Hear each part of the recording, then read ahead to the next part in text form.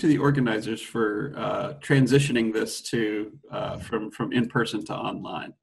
Uh, I, I, have to say, I mean, I'm I'm I'm I'm a little disappointed not to be able to be spending part of my summer in Paris, but uh, I uh, I really appreciate all the work that goes into this, and I'd also like to thank the staff of the IHES as well.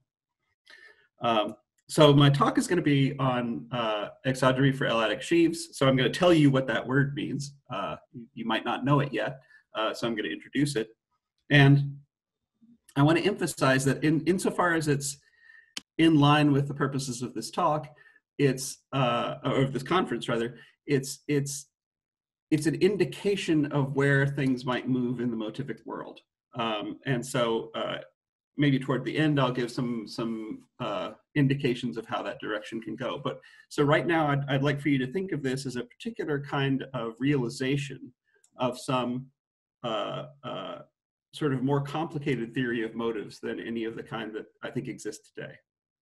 Um, okay, so since this is a talk uh, that is virtually at the IHES, I thought I'd go with a, a theme um, and the theme that I thought I'd start with is uh, a sort of Grothendieckian theme.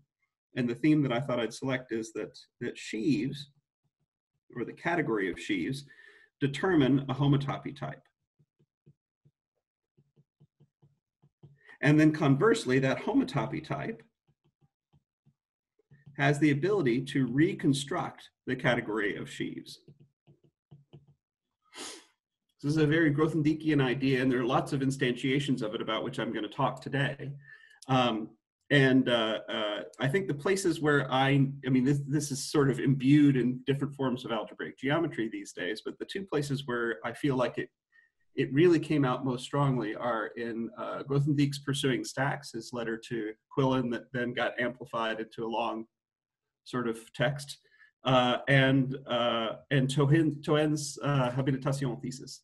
Um, so I actually grew up reading Toen's thesis. Uh, my, you know, pretty much all of my my graduate education and my uh, postdoctoral time was spent sort of carrying this this the habilitation around with me and trying to understand the things that he was telling me about the future. Um, and so, if you know, for those of you who were raised uh, only on the the texts of Lurie, I I, I, I, suggest going back and looking at at, uh, at thesis and, and understanding really how good Toen's vision for the future really was. Um, it's really quite remarkable. Um, okay, so so how does this theme sort of actually get instantiated? So here's the first example of this. So uh, let X be um, a connected manifold. It'll be connected for right now. Um, so I'm going to write LC vect C uh, for the category of locally constant sheaves of vector spaces. So these are locally constant sheaves of vector spaces on X. And so if you have this category of locally constant sheaves, uh, well, what can you do with it? Well, I've given a little example here uh, on this side of the uh, page. I have this point X here, and well, I've got my, that's supposed to be a drawing of the Mobius band. I did my best. Uh, I'm going to uh, drive around my little loop there. And while I'm driving around, I'm going to hold in the air uh, a vector. And that vector is going to be a vector, is going to be a section at that point of that line bundle. And I'm going to carry that line bundle around. And then I'm going to discover that as I've carried it around, I've reversed orientation, right? And so what you see there is you're seeing a representation of pi 1 of the circle, which is of course just the integers. You're seeing a representation of that thing. And the point is, is that if you choose a point, uh, oops, if you choose a point x and x, then that will determine an equivalence of categories between the locally constant sheaves, in this case of vector spaces, and representations of your fundamental group. So this isn't a homotopy type yet. This, uh, this fundamental group here isn't a homotopy type yet. But what it is, is it's an approximation to a homotopy type, right? It's giving you some information about the homotopy theory of uh, your manifold. And it's giving it to you as it relates to the category of locally constant sheaves. So this is a, uh, an example that I want to be inspired by, but first I want to generalize it as many times as I can. So let's try and generalize it as many times as I can. So first off, well, you might not have been very happy with the fact that I had to choose a. And you might feel as though, well, the manifolds that I'm interested in, they're not connected. So, you know, can you do something better for me? And indeed, we can do something better for you if X is any manifold whatsoever. And C is really any category. It doesn't really matter what the target category is at all. Then you again have, now it's a canonical equivalence. I don't have to select a point, so you don't have problems with functoriality. I don't have to select a point, and I've got the category of locally constant sheaves valued now in just the complex numbers. And on the other side, I have, well, now it's not representations of a group, but it's representations of, of the fundamental groupoid.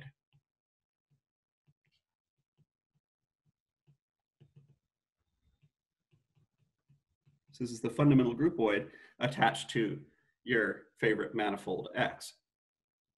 And now, with this information, you can actually recover the category of locally constant sheaves.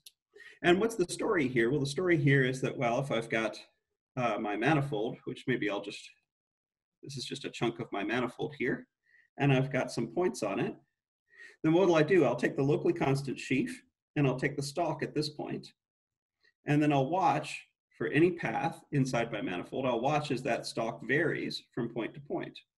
And that provides me with a functor. And because it's locally constant, I actually have an honest functor from paths into this category. And in the reverse direction, I can just go back the way I came. And that's why this thing is really a groupoid and not just some arbitrary category. So by the way, I'm, I, I should have emphasized this earlier. I hope that people feel free to ask questions. This is meant to be a summer school, so uh, you know I have some slides here, but if I don't get to everything, that's fine. I, I feel like these things go well if if uh, I'm interrupted frequently. So please ask away. Yeah, yeah, absolutely. I I, I relay the questions. Thank you very much. Um, okay, so this is the story. So we have this nice equivalence between locally constant sheaves, so sheaves that are constant on some open cover of my X, and representations of the fundamental groupoid. And that's completely canonical. There's no funny business there. There's no choices. It's just a completely canonical equivalence.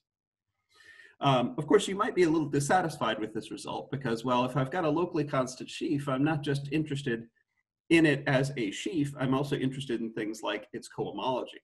So how can I extract things like its cohomology? Or more generally, how can I extract things like the category of locally constant sheaves where the target now isn't just, ah, so what is a locally constant sheaf valued in a category? So let me answer that question. So by locally constant sheaf, let's see, I'll just add a page underneath this.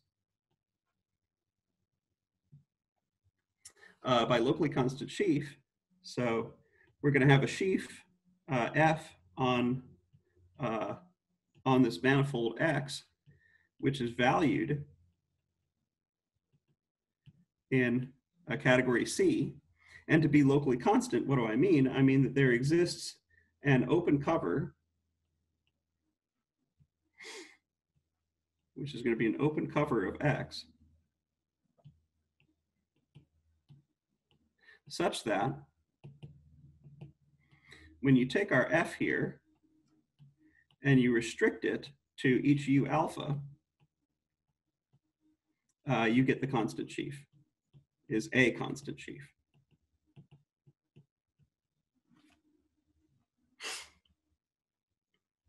So if you have a sheaf, and, and this doesn't matter, it, it, it doesn't know what C is, right? It's just a, it's an arbitrary sheaf valued in C. But the point is, is that, that uh, according to some open cover, on those pieces of that open cover, it's actually a constant sheaf. Okay, so so you might be unsatisfied with this because you might want to say, okay, well, I don't want to just contemplate uh, uh, uh, sheaves of vector spaces. I want to do something more sophisticated and capture cohomological behavior, which means that I need to pass to something like the category of sheaves valued in complexes, right? And so if I think about sheaves valued in complexes, then how do I do that? And this is this uh, uh, beautiful theorem of, it really goes back, I think, to to Toen and Toen-Vezzosi. I mean, this was sort of suggested in Grothendieck's Pursuing Stacks, but I think the, the first sort of complete proof is in, is in Toen and Toen-Vezzosi's papers from around 2002, um, which is that if X is any manifold, more you, you, can be more general than this, but manifold is enough for our for our uh, uh, uh, purposes, if X is any manifold, then the category of locally constant sheaves, valued not now just in a category C, but in fact in any infinity category C, is the same thing as functors out of pi infinity of x. So pi infinity of x, uh, this is the fundamental groupoid, but fundamental infinity groupoid.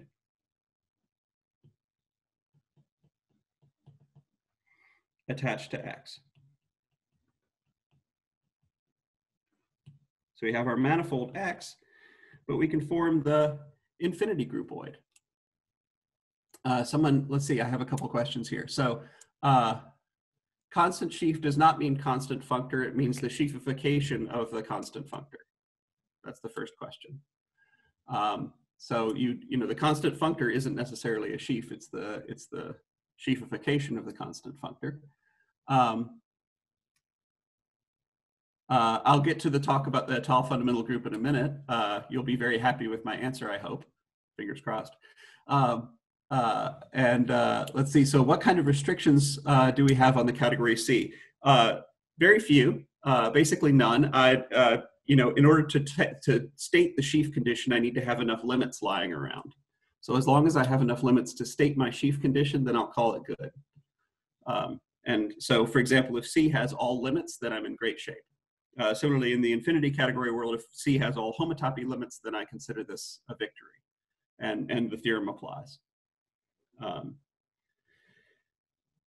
okay, so the uh, fundamental groupoid, infinity groupoid uh, attached to X, this is the, this infinity groupoid here.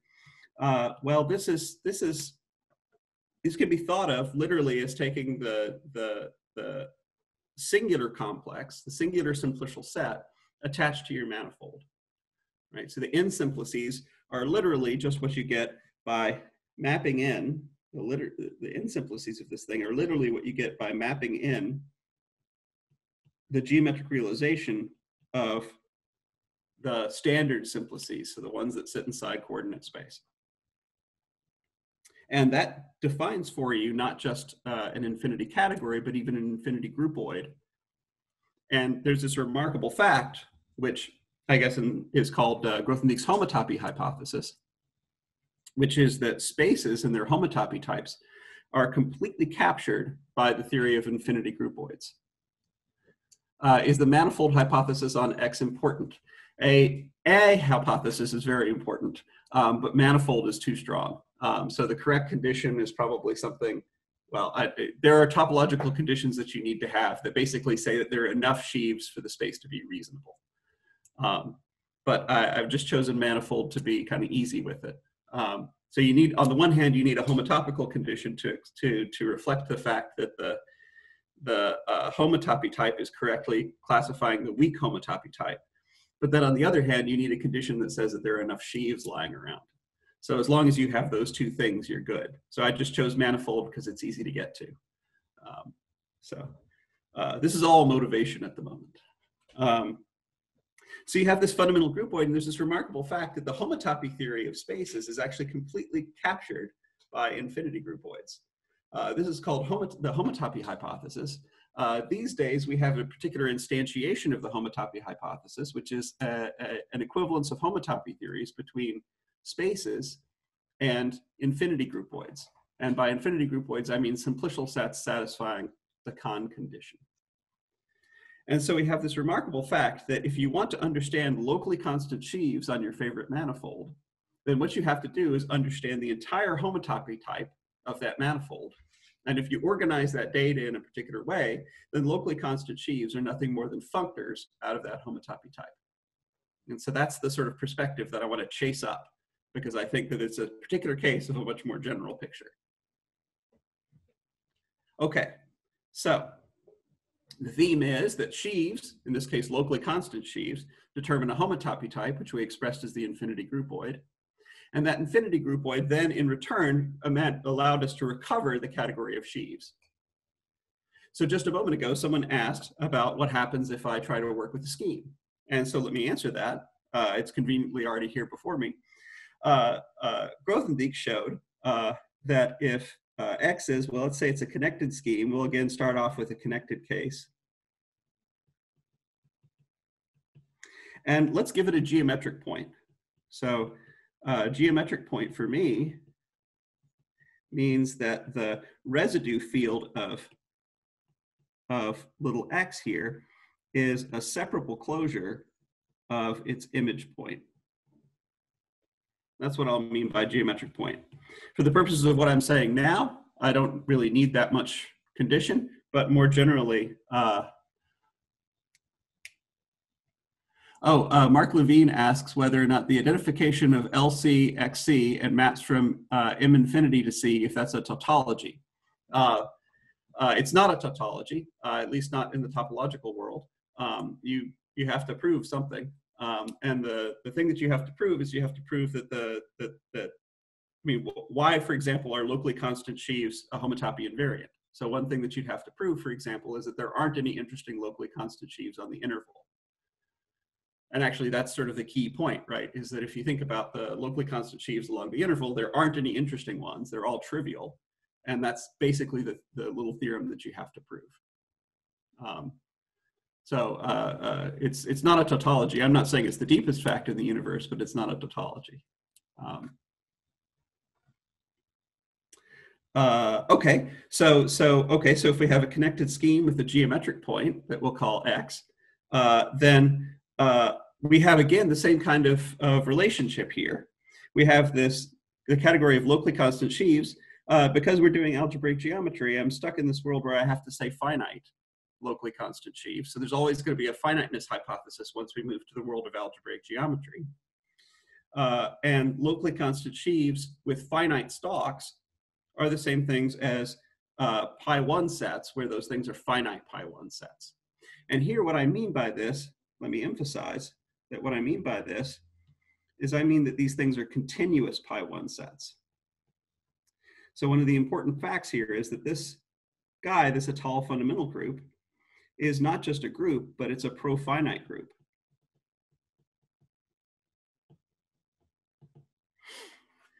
it's a profinite group, and because it's a profinite group, we think of that thing as a as a topological group. It's a group uh, equipped with a a, uh, a topological structure. That topological structure is a very particular kind of topological structure. It's a stone topological space, which is to say that it's uh, compact, Hausdorff, and totally disconnected. Um, so it's a very particular kind of group. Uh, it's very nicely behaved, uh, and I look at the continuous finite pi 1 sets for this Étale fundamental group. And how is this thing defined? Well, roughly speaking, what Grothendieck discovered was that you could just sort of backfill this equivalence to actually use this as a definition for pi 1. That is to say that you basically set it up so that covering space theory works correctly in the world of schemes. And if you do that effectively, then you end up with this beautiful profinite group and you discover this exact theorem. Um, now, let me mention that, well, we can extend this to a sort of linear setting. Uh, before we were talking about the representations of uh, the fundamental group valued in the complex numbers. Here, if I take a finite ring, and again, the finiteness is important for the sentence I'm saying here. If we take a finite ring, then locally constant sheaves valued in, say, finitely generated lambda modules, lambda will be the name of my ring, those are the same things as lambda linear representations of the Étale fundamental group. Okay. So this is often called, by the way, the monodromy representation. So, or the monodromy equivalence, I guess, as I've stated it here. The idea is that to every locally constant sheaf, you have a particular representation, and that representation could be called the monodromy representation. Why monodromy? Well, dromos uh, is, I guess, the Greek word for running, um, or uh, an avenue, I guess. Uh, and mono is referring to the fact that you're running around a loop once and getting back to where you started and seeing what happened to your vector. And so that phenomenon is exactly the phenomenon that we're trying to capture here. Now here in this context, we don't have literal uh, Étale paths, uh, but nevertheless, we're gonna uh, we're gonna work with this.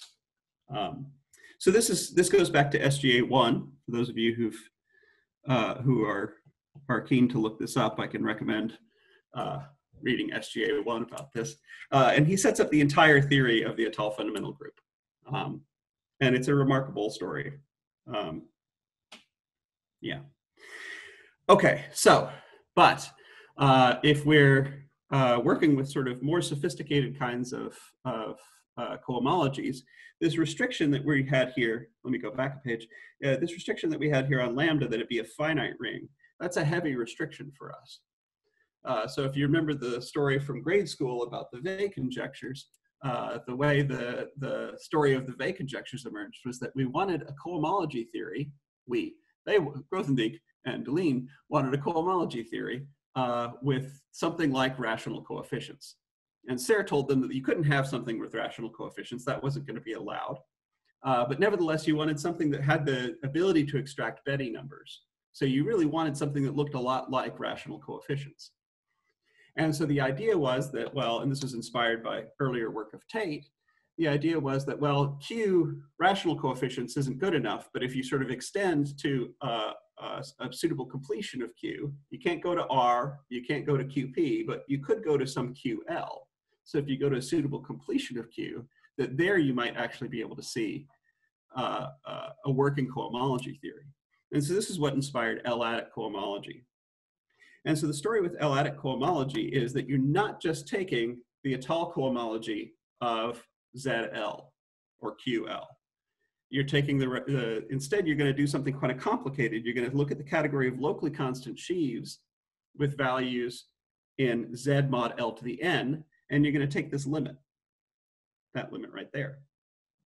And you're going to let your n's grow large, and in the limit, you're going to get a category. And inside this category is where you can spy your uh, cohomology with ZL coefficients. Okay, so that might seem a little unsatisfying because this isn't just the category of locally constant sheaves on the Étale topology. So I have to do something more intelligent. And so the more intelligent thing uh, actually came very, very recently. So this is in, uh, I think, 2013, if I'm not mistaken, somewhere around there. Um, uh, actually came very recently, which is that the you can instead pass to what's called the pro-Étale topology. Uh, so the pro-Étale topology is a sort of version of the Étale topology where you're allowing sort of infinitary covers. Um, and those infinitary covers give you extra added expressive power. And what Bhatt and Scholze approved in 2013 is that, well, if I've got myself a geometric point, again, I'm going to be working with these geometric points. If I've got a geometric point, little x of x, then I can extract a new monodromy equivalence between the category of locally constant sheaves with ZL coefficients and the representations of now a new kind of thing, the pro-Étale fundamental group. So this is the pro-Étale fundamental group.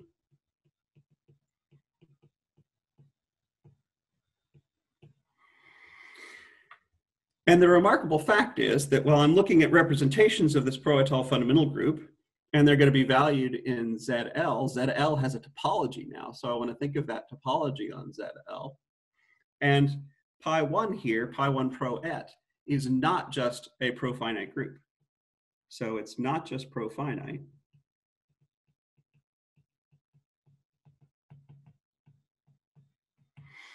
It's a much more complicated group. It's something called a Noohi topological group.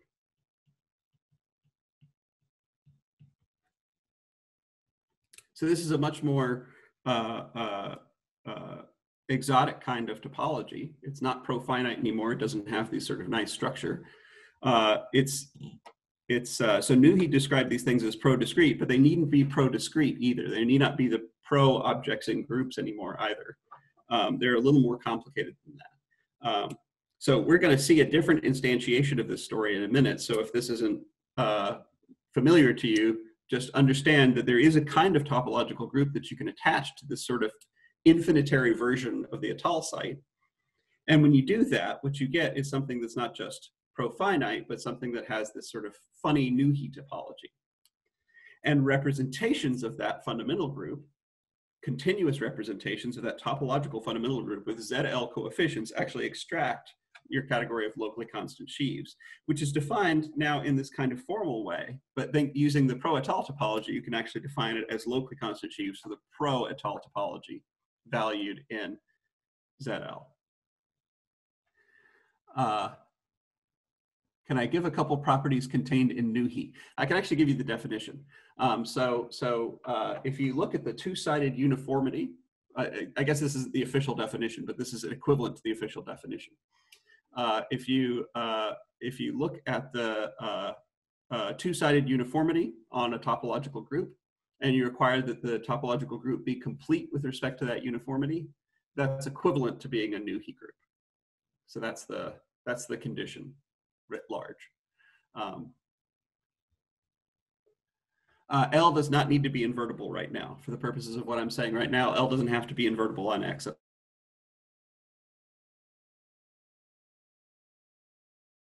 To produce a Weil cohomology theory when I tensor up, uh, I'm going to want this to, I'm going to want L to be invertible. Uh, but right now, for this sentence here, absolutely fine. Q, L can be equal to P and X can be a variety over FP. It'll work perfectly fine. Okay, so the same story happens with QL coefficients. And once again, we can't use the Étale topology and just define what it means to be uh, a QL sheaf just using the Étale topology. Uh, instead, I'm going to look at uh, this category of locally constant sheaves. And the category of locally constant sheaves uh, with QL coefficients is going to be this category that I have from this previous page defined by this limit. This gadget here uh, uh, defines a ZL category, and I'm going to tensor that ZL category up to a QL category. Uh, David Corwin asks what a two-sided uniformity is. If it's okay with you, David, I, I want to come back to that at a different time. Um, I, I just want to try and I'm I'm uh, I'm going in a different direction, so don't worry. I, will give a different description of this group in, in different formats. Um, so, but let me just emphasize that this QL, even tensored up to QL, we still have the same theorem. That is to say, locally constant sheaves with QL coefficients uh, are the same things as uh, continuous still representations of this topological group, this topological fundamental group with QL coefficients. Okay. So, so this really does capture the full QL theory. Um, and it, it, it, it, it is very good in that regard. So this is this, uh, this is now this, this, this wonderful topological fundamental group.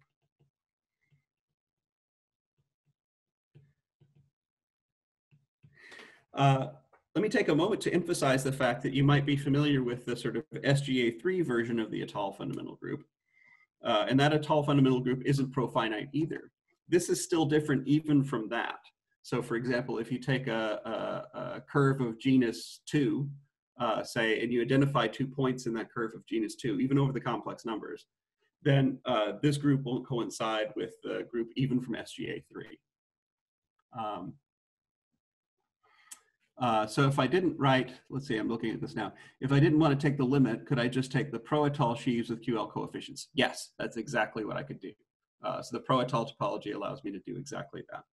That's right. And I can do the same thing yeah, I can do the same thing for both ZL and QL. I can just take sheaves for the pro-Étale topology with these coefficients. You have to be a little cautious about how you define that ring of coefficients, but as long as you do it correctly, everything's fine. Um, because again, you've got to embed the topology as part of the structure of the, the, the sheaf of pro-Étale rings that you're writing down. Okay. Uh, so, okay, so this is the story so far. Uh, so now this is, I'm only talking about sort of locally constant sheaves of, of ordinary categories right now, right? So these are, these are really locally constant sheaves of QL vector spaces, no complexes. I'm not picking up anything more complicated than that. So for example, I don't have any access right now to say the, the uh, category of complexes whose cohomology is locally constant with QL coefficients. I don't have, uh, I'm not having a theorem that says uh, what kind of object those things are representations of. So it's analogous to the situation that I had before, where uh, with manifolds, where I understood uh, how to understand local, locally constant sheaves of, of sets or of ordinary categories, but I don't necessarily have access to locally constant sheaves of uh, something valued in an infinity category. And to get that, I'm going to need much more structure than just a single group. I'm going to need the whole structure of, of a homotopy type. So let's get at that. Uh, well, first, we have the sort of original Artin-Mazur homotopy type. Uh, and the version of the story that I'm telling now is actually sort of the more sophisticated version that Toen and Vezzosi showed us. Um, and, uh, and so what's the story here? Well, the story is that if I take a scheme X, and I want to understand, I'm going back to the finite world here. If I want to understand uh, locally constant sheaves valued in S pi, what is S pi? S pi is the infinity category of pi finite spaces. Spaces. Uh, so pi finite means that it only has finitely much homotopy. The spaces only have finitely much homotopy. And all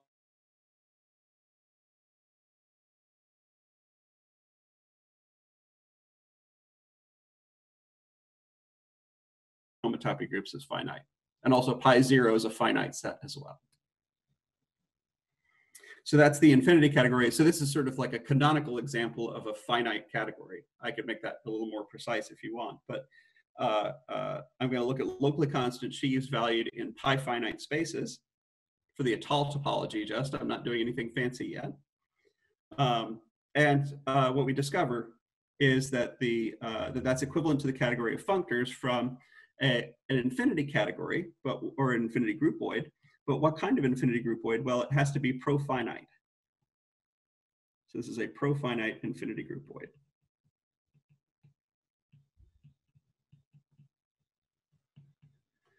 So what does it mean, you might ask, to be a profinite infinity groupoid? Well, I literally mean that it's going to be an object of the pro category of pi finite spaces.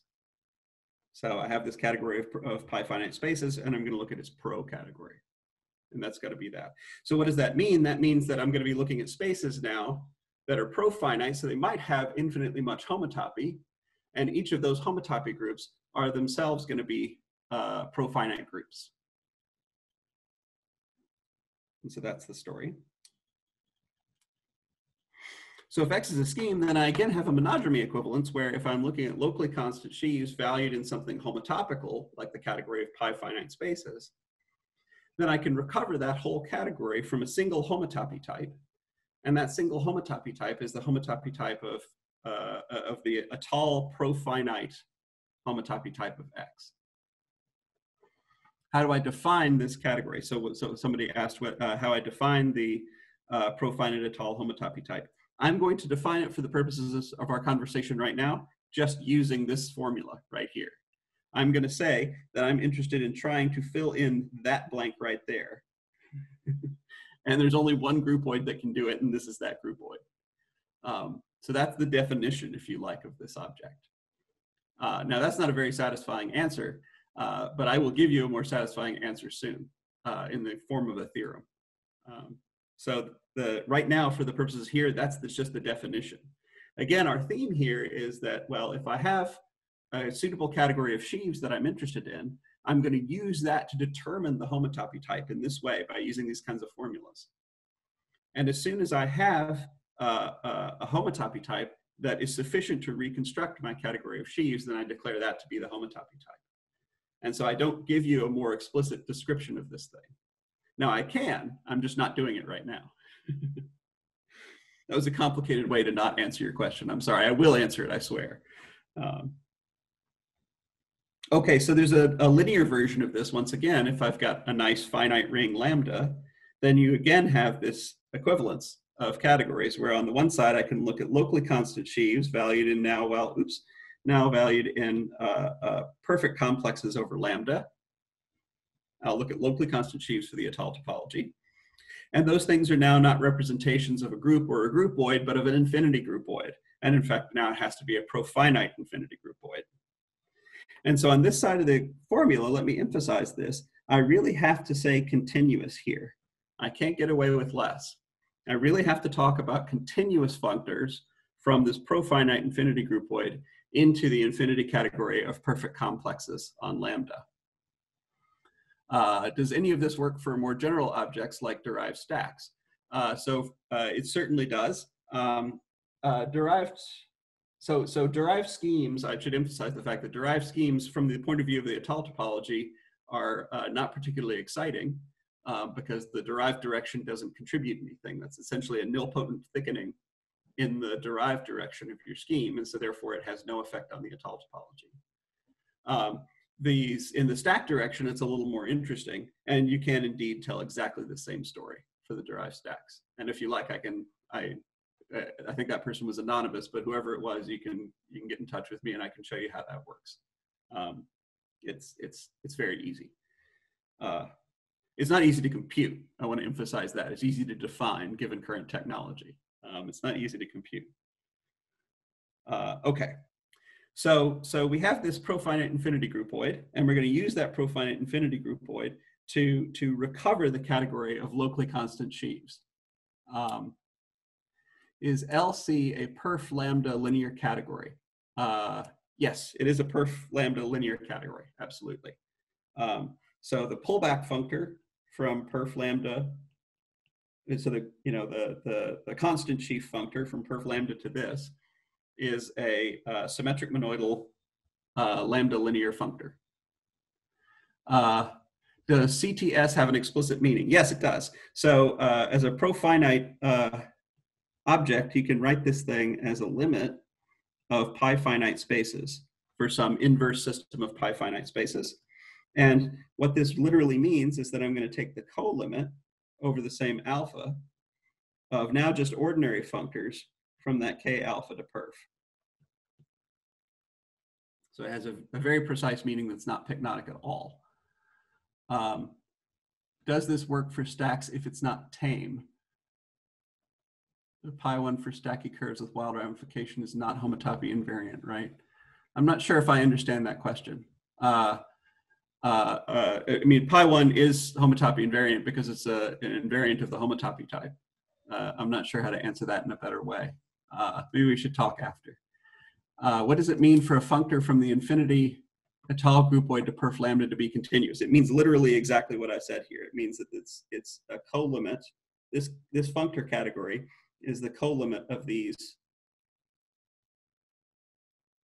of these things. And right now, that's the only definition we have at our disposal. Uh, I'll give you a better definition actually in the next lecture, but for now, this is what we've got. Um, okay, so uh, good. So now here's our here's our our central question. So we have some theorems; those are great, and now we have some central questions. Uh, the first one is: Can we replace lambda with ZL or QL or QL bar uh, with the relevant topology on these rings?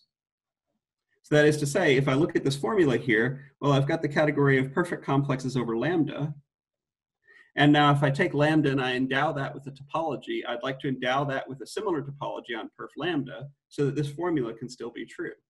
Where here I'm really going to take, again, some sort of continuous functors from this thing. That's the first question.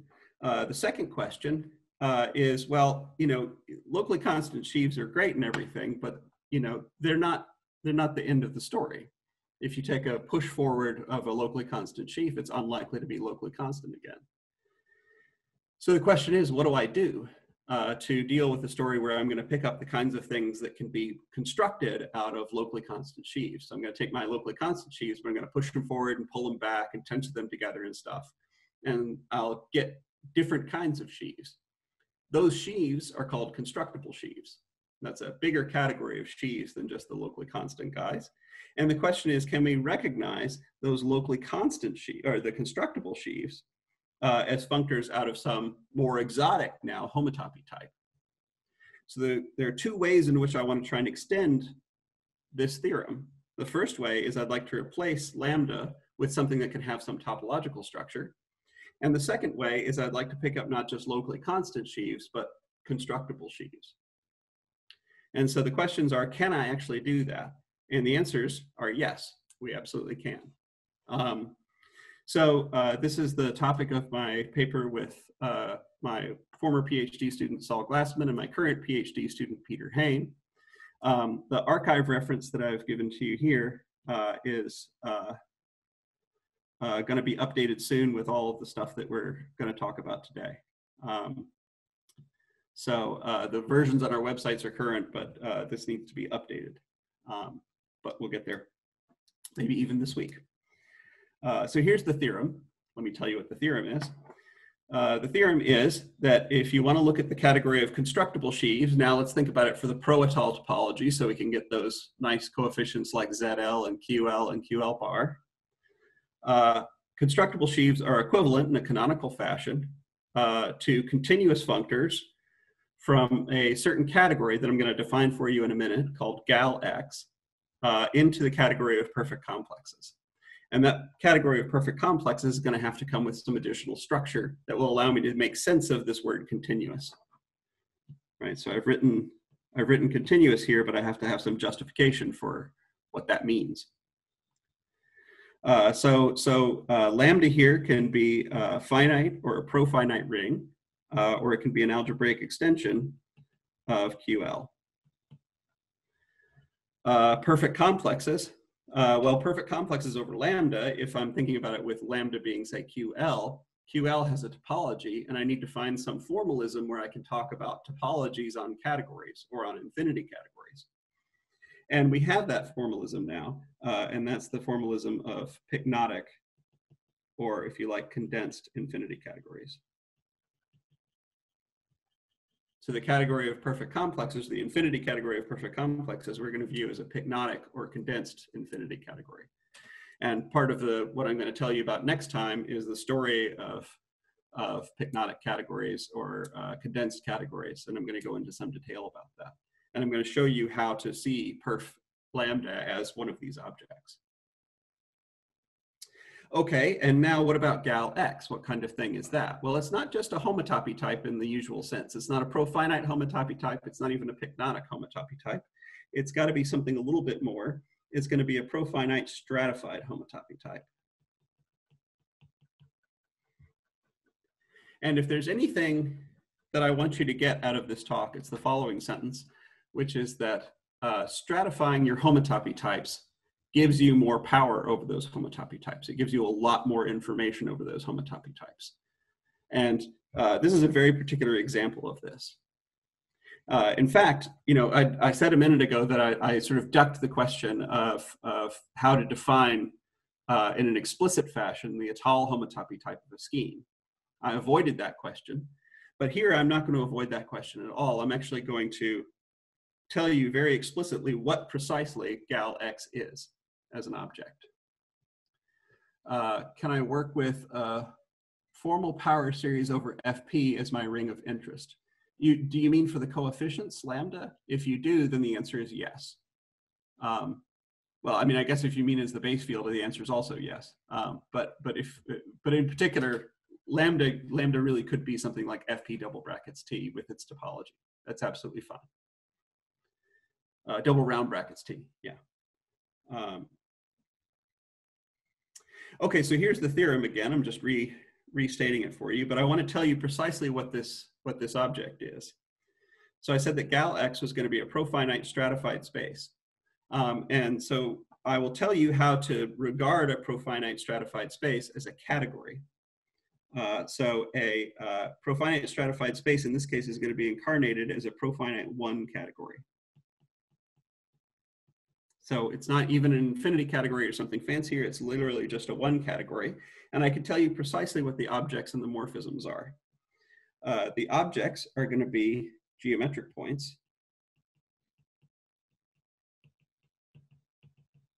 And the morphisms, the morphisms are gonna be specializations of those geometric points.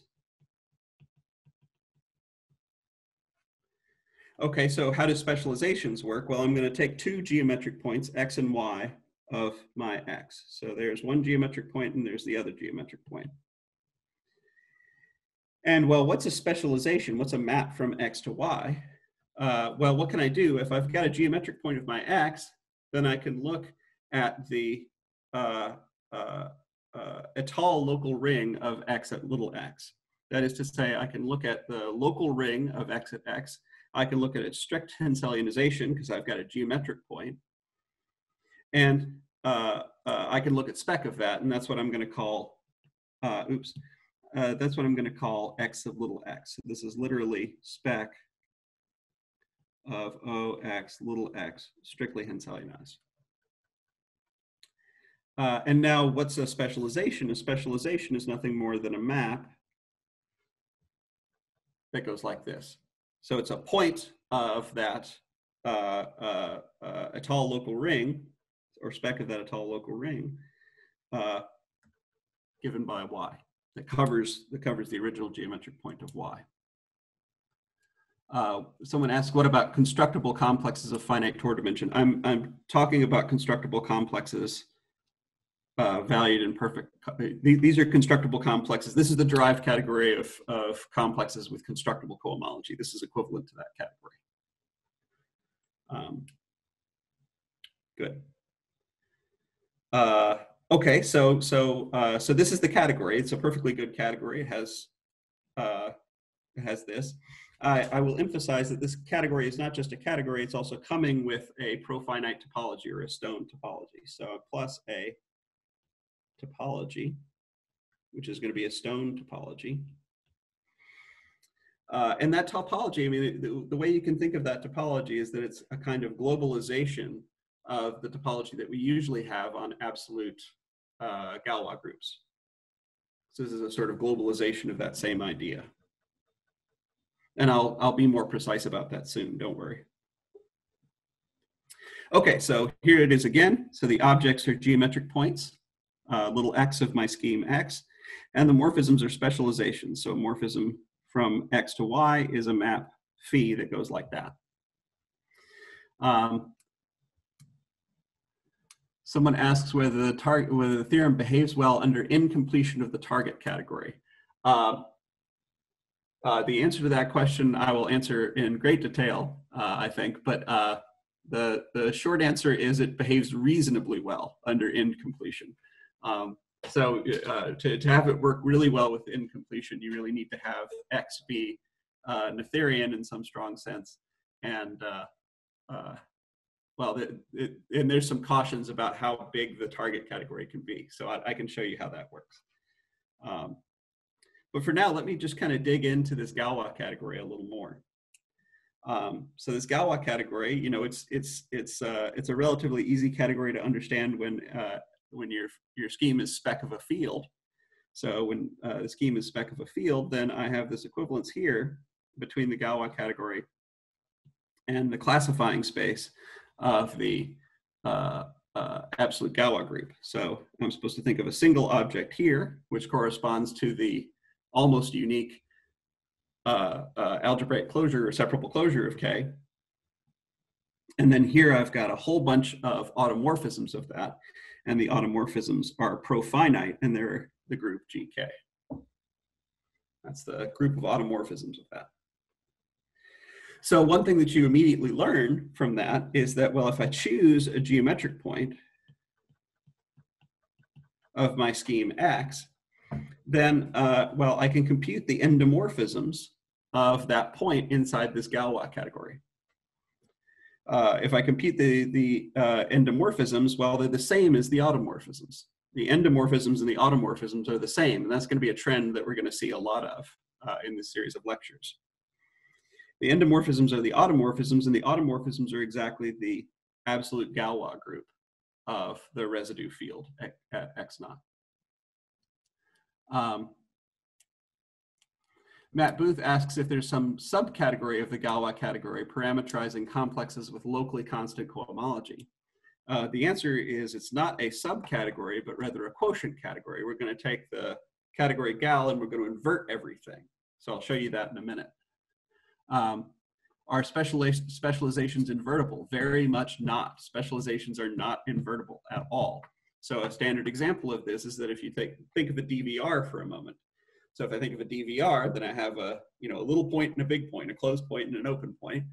Uh, and if I think take, take two algebraic closures of each side or separable closures of each side, then I have a whole lot of specializations from the little point to the big point, but I have no specializations going back. So they're not invertible at all. It's very much not invertible.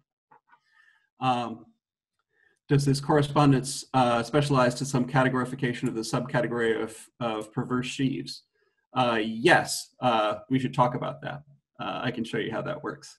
Um, how can I see Étale pi 2 if it's a one category? Uh, so I have a one category, but if you have a one category and you take the classifying space of a one category, then I can get any kind of space you like, right? Including things that have pi 2s.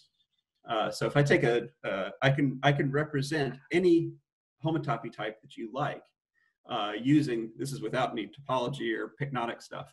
If I just take a, a, any homotopy type you like, I can always represent it as the nerve of a category, a one category with no fancy stuff. Um, that's always possible, and that's exactly what this Galois category is doing for you. So even though the Étale homotopy type, and this is a very important point that David Corwin, this is David Corwin's question, this is a very important point that he's bringing up, which is that you know the Étale homotopy type can have tons and tons and tons of homotopy. For example, if I take P1 over the complex numbers, that has the Étale homotopy type of the profinite completion of S2, which has arbitrary much homotopy type. So that might seem like, wow, how could I ever get that out of something that's sort of uh, uh, reasonably small, right? It's going to have to be a big infinite thing.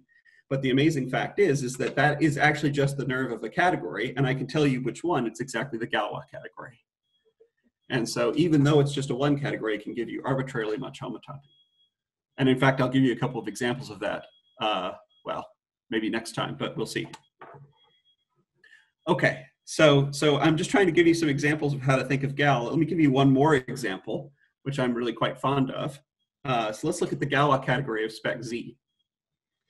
So if I look at the Galois category of spec Z, well, then what do I have? Uh, I claim this is the, the story of knots and primes uh, that was developed by uh, Mumford and Mazur in the 60s. Um, so what does it look like? Well, uh, the points are geometric points. Uh, so if I take uh, uh, oh wait, so I see that there's, uh, oh, Mark Levine is complaining that the specialization that he knows goes in the other direction. And that's right. So the, this is a specialization that goes like that. That's right. So for those of you who are confused, that's the direction of the specialization. X is a specialization of Y for, for there to be a map from X to Y. Um, that's the way around it is. Uh, okay, so uh, the objects of this thing, well, what do they have to be? They have to be geometric points of spec Z. So that means that they're, they're all of the form spec of FP bar or spec of Q bar, right? They're, they have to be algebraic or separable closures of some of the, the residue fields, and they're going to be either spec FP bar or spec Q bar. So those are the kinds of points that we have. We have all those. And now let's look at what we've got. Well, we've got automorphisms, and we just learned how automorphisms work. So the automorphisms of spec FP, those are just going to recover a nice Z hat for me, generated by our friend the Frobenius. Uh, the automorphisms of spec Q bar, that's going to give me the absolute Galois group of Q, which, you know, is a pretty complicated object. And now this is, this is going back to the point that I was making earlier. There are no maps whatsoever from spec Q bar to spec FP. There are no specializations that go that way. There are, however, specializations that go the other way, uh, specializations from spec of FP bar up to spec of FQ. That is to say, spec of FP bar is a specialization of spec of FQ, to go back to what Mark Levine was pointing out. And the space of those, well, how can you compute that thing? Well, uh, you take the absolute Galois groups of the two endpoints, and then you actually quotient out by the decomposition group. You product those together and quotient out by the decomposition group. And that's the set. This is just a set now with actions. This is just a set of maps from spec FP bar to spec QP bar. Okay, so how do I want us to visualize that? So I'm gonna go into detail, I guess, next time about how uh, stratified topology works. But I wanna draw this picture here because this really is the knots and primes picture that we know and love. So here I've got a knot sort of sitting inside this sort of three-dimensional cube. And uh, in this knot, well, I've got the sort of central knot itself, and I want you to think of that as spec FP sitting inside this three-dimensional space. So spec FP there is sitting inside the three-dimensional space, and that what it, how does it look? Well, it's the classifying space of the profinite integers, which means it's a profinitely completed circle sitting inside this three-dimensional space. Uh, that the complement or it's sort of, uh, uh, I have this sort of bulk piece. So this is a knot sitting inside the thing. And I can look at all of the knots sitting inside the thing and look at the complement of all of them. And then what I have left over is just a copy of the classifying space of the absolute Galois group of Q. Right, so that's corresponding to the generic point, which I didn't know how to draw, so I just left it blank. Um, and then, well, what else do I have? Well, I've got the knot, and I can look at the deleted tubular neighborhood of that knot. Uh, that's what I'm supposed to be pointing at there. It's in purple. And what does that look like? Well, that's that's really a spec of QP, regarded as the deleted tubular neighborhood of that uh, of that knot. And so all of these things are fitting together into a coherent picture. But I claim that that coherent picture is is really organized by this category so that you can actually see these, these knots sitting inside as closed subs. And that's precisely what this picture is doing. Okay, uh, so let's look at the theorem again. The theorem is that the constructible sheaves for the Pro-Étale uh, topology landing in perf lambda, and remember lambda can have topological structure or not as you see fit. Uh, so it works for finite rings, it works for profinite rings, it works for uh, uh, extensions of QL. Uh, it works for FP double round brackets T, those kinds of things. Uh, constructible sheaves are the same things just as functors from this Galois category, right? So the Galois category has as objects geometric points and its morphisms specializations of those geometric points.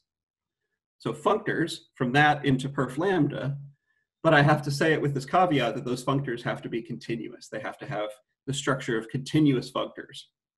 So I have to make that precise. I haven't made that precise yet. That's what I'm going to be doing in this next series of, in the next couple talks. So I have to do that. Uh, let me emphasize, this is a question that came up here. What can I do? Well, I can look at those constructible sheaves such that the specialization maps that I get are all invertible. Those are necessarily going to be locally constant sheaves. And so then I arrive at the following theorem. I arrive at the theorem that locally constant sheaves, lambda landing in perf lambda again, are the same things as functors from now this new object right here, the Pro-Étale homotopy type of X. Now I have to regard this thing with this sort of topological structure that I'm going to be talking about. Eh, but I can tell you precisely what it is. It's just the nerve of a category in this sort of continuous world. I'm going to take this category gal and I'm going to invert all the morphisms in it in the correct homotopical way, which is to say I'm going to take its nerve, but I'm going to take it in the world of pro uh, or of uh, pyknotic spaces, which I'll define. And once I do that, then I have a perfectly good Pro-Étale homotopy type. So for example, pi one of this Pro-Étale homotopy type will recover the Bhatt-Scholze pi one that we saw last time. Okay, so I'm I'm rapidly approaching the the uh, the time, so I think now is a good time for me to just start fielding fielding questions. Um, so you've been great about asking questions, and I'm really grateful for that. And I hope you you still have more for me. Okay, you did you did a great job for asking asking uh, answering a question on the fly. So okay, so now you you you you're finished. You'll go on afterwards, and we we go to other questions? That's it? Yes, yes, thank you. Okay, so thanks a lot for the talk for first. And uh, now you, uh, okay, so you can see the first question. Mm. Yeah, where's the knot coming from? So that's an important point. So let me go back to that. So the the knot is coming from the following place. So I'm I'm uh, uh, I'm looking at this uh, spec of FP sitting inside here.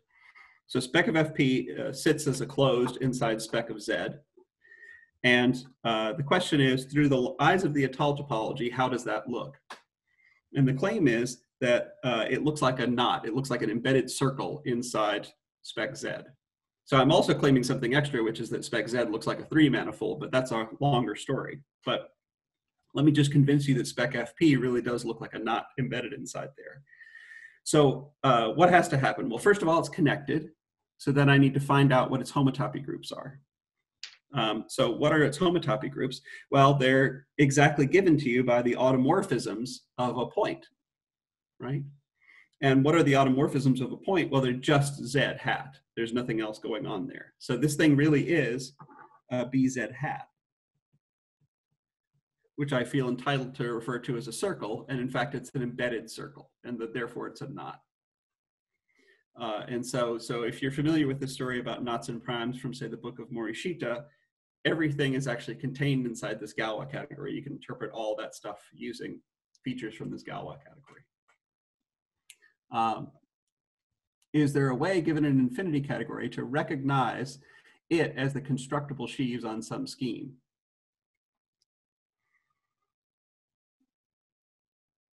Uh, gee, that's a really good question. Um, let's see. I don't think I have anything interesting to say, except that's a really good question. Um, it's a really good question. Uh, it, that's a great question. I don't know the answer to that. I uh, I have a description here of of constructible sheaves as functors, uh, but I don't see how that could tell give you a recognition principle for when a category is a category of constructible sheaves. Uh, oh, okay, so maybe I can say something. So that's sort of a Tannakian question, um, and I think there's a I think that's a great question. I'm going to stick with that answer. Um, yeah, it's uh, it's that's that's that's the I think that's exactly the right question. And whoever had that question, I want you to talk to me because I have some ideas, but I don't have answers for you. Um, uh, is there a precise condition on the pyknotic categories of good coefficients? Uh, so uh, it depends on what you want to say by good. So um, so I'm comparing the, the category of constructible sheaves as it's classically defined uh, for QL, QL bar coefficients, those sort of classical definitions of, of constructible sheaves, to this functor category.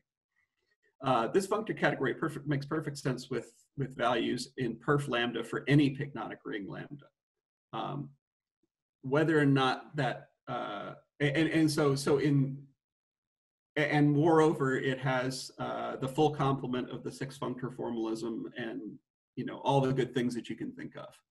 Um, it, so it, it, works perfectly well as a theory of constructible sheaves. Uh, it doesn't compare to anything, as far as I know, that's known for just some random pyknotic ring. Uh, there's the, as you'll see, the world of pyknotic objects is very, very uh, has many exotic beasts in it. Uh, so uh, it, it works insofar as as you have a working theory. Um, whether or not it agrees with something that someone might have defined elsewhere, I can't say. Uh, I, have only concentrated on the cases of ZL, QL, and extensions of QL, those kinds of contexts, um, where I really understand uh, the existing definitions correctly. Okay. So maybe I have a, I have a question please. About this uh, this finite Tor dimension, so so it seems that what you did is is adapted for the constructibility condition, which can be tested on fibers on the, on the, on specialization maps. But That's what right. if you consider over finiteness conditions? So, for example, Tor finite dimension, I think it appears when when you want the tensor product on the category, on bounded category. Uh, so, so uh, it, I mean, in this statement here, we do have a tensor product on this category here. Uh, yeah, okay. Um, it's a, I mean, in fact, on this side of the equation, it's really just the object-wise tensor product. Um, so there's nothing. And then, then maybe it's it's it's closer to the finite Tor CTF, like Deligne said, the constructible finite Tor dimension condition. So. Uh, I have to remind myself what CTF means normally. Um, so, uh, so let me just see if I can understand. So it, it means the category of sheaves uh, with constructible cohomology. Yeah. Uh, and then uh, is the statement that the complexes themselves are globally a finite Tor dimension? Or is it a local uh, statement? Yeah, no, it's it's that, I think. Uh-huh. Uh, so so that you can so, have tensor product on uh, yeah, there's a perfectly good tensor product. And so I, I, guess what I want to say here is that that uh, for this theorem to be to be uh, so first of all, I, I am I, I, did hide some conditions here. So my my x's do have good quasi compactness properties for this story to work as, mm-hmm. as desired. Um, so the difference between global and local Tor dimension is not, not so serious. Um, the, uh, how do I say this correctly? Um,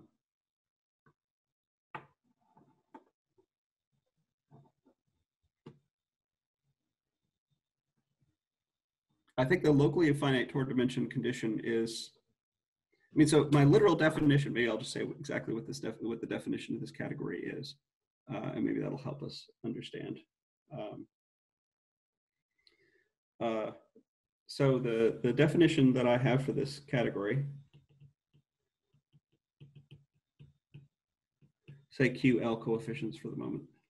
Uh, well, I'm going to cheat first, and I'm going to look at constructible sheaves. This is, a, is an infinity category uh, with ZL coefficients, and I'm going to invert L. Uh, and well, so how is this defined? This thing is defined first as just the limit uh, uh, uh, as n goes to infinity of constructible sheaves x at perf z mod lz to the n uh, and then inverting L.